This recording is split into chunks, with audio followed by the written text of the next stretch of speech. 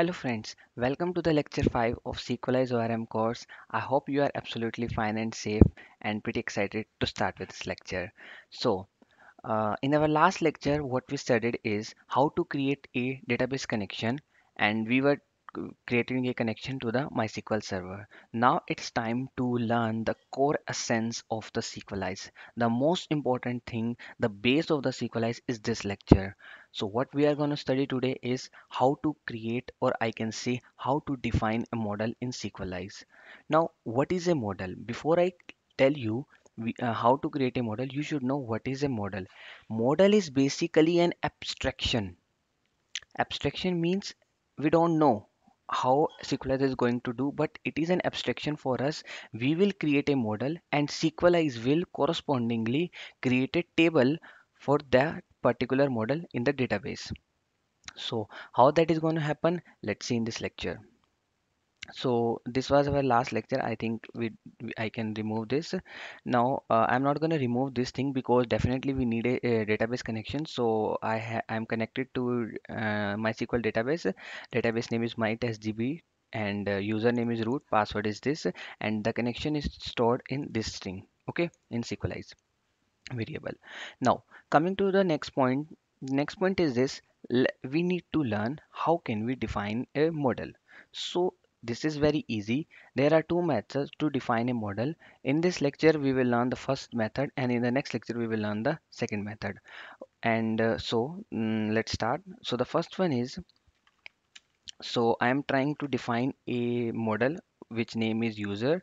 So, how I am going to do this? I have Sequelize with me, and Sequelize provides me a method called define. In the define, I can directly pass the name of the model Okay, so right now I am defining the name as user.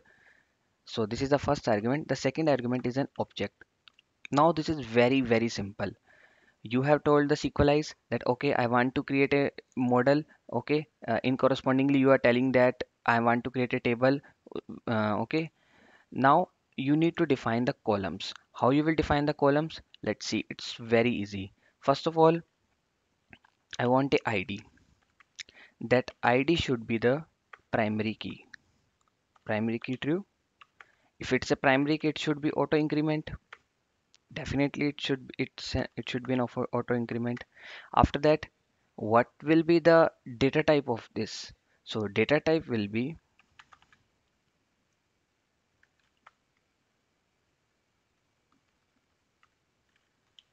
yeah, you can define directly as type. So type will be integer. So how can we define integer? Uh, you can see at line number one, Sequelize is provided as a uh, object data types. Using this, you can define any data type, data types dot integer. You might be wondering there are so many things to cram. There, there is nothing to cram. These are just the things that you will uh, get to know, and these will be fit in your mind with the passage of time. Whenever you you do these things again and again, then you don't need to cram anything. After ID, we have uh, what we say in a user. We can say it's an email ID. Okay, and the email ID, uh, its type will be data types dot. Its type will be string. I can say and definitely unique will be true. These things which i am using these are the parameters which i am passing. This you will learn with the passage of time okay as told earlier also.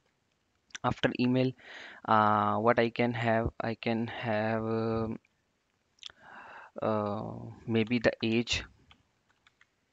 So the age will be uh, yeah its type will be again data type dot integer one thing also you can set here is you can also set allow null false. By default it's true. By default it will allow you to enter no, enter a null value. But if you define allow null as false it will not allow you to do do, do that. So that's how it is. This was so easy. That's how you can define a model so easily. Okay uh, so now how we will move forward is like now I have created this model in my JavaScript code now I need to sync this code or I can see my sequelize to the database. So uh, it provides me very simple method. I just need to do sequelize dot sync. So what I'm expecting this is now after creating uh, I am I am uh, assigning it like okay so you need to create a uh, model user model and after this I am syncing it with a database. So I'm expecting that after this a table will be created in my database with these fields. So let's try. Let me run this file.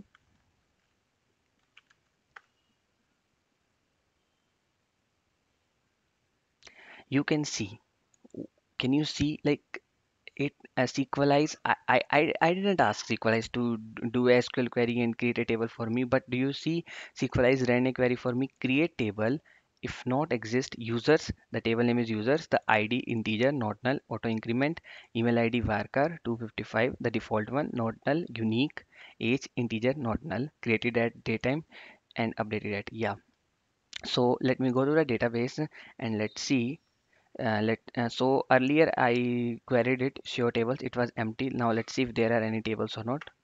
So you can see there is table. Let me uh, see what it is in the users yeah so you can see the id email and age these are the fields which i defined here and these are automatically created these the, the sql queries ran by the sequelize automatically and now i have this table created in my database now you will be wondering how this created and updated it came is there any place I added this thing? No, there is no such place. Then how it came? This is because Sequelize default consider timestamps as true. Means even if you don't want to, um, even if you don't specify, if you even if you don't explicitly specify that I want created and updated it, even then Sequelize does this. So okay there may be a case if you, um, when you you will say me that okay i don't want this thing. I want uh, i don't want these two fields. Okay sql has provided the way for that also. Let me copy this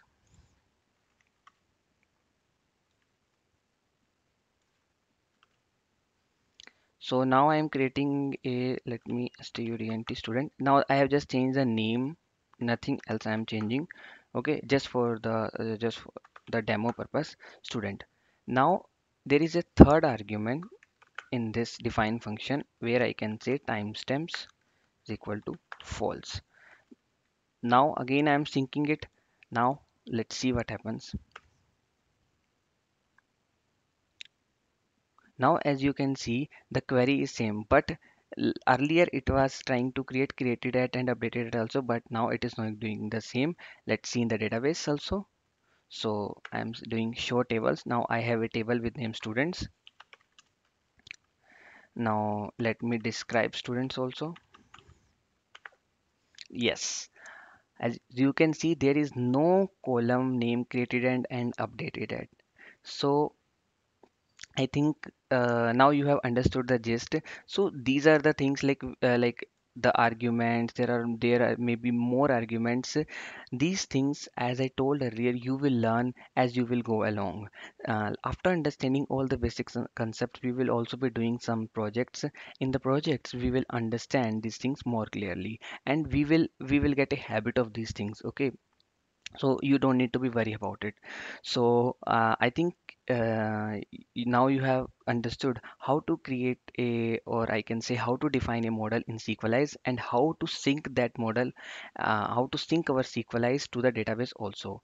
So uh, this was about this lecture. In the next lecture we will learn an alternate way to create a model. So thanks all for watching. Uh, don't forget to subscribe and hit the like button. Thank you